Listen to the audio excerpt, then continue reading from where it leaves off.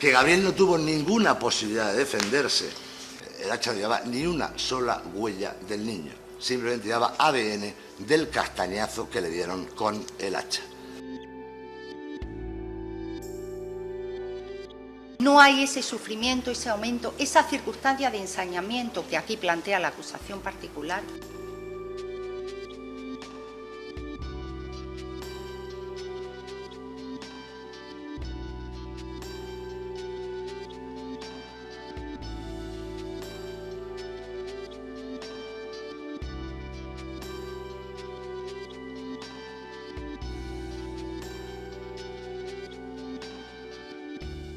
Le provoca la muerte por asfixia, que es la causa fundamental de la muerte.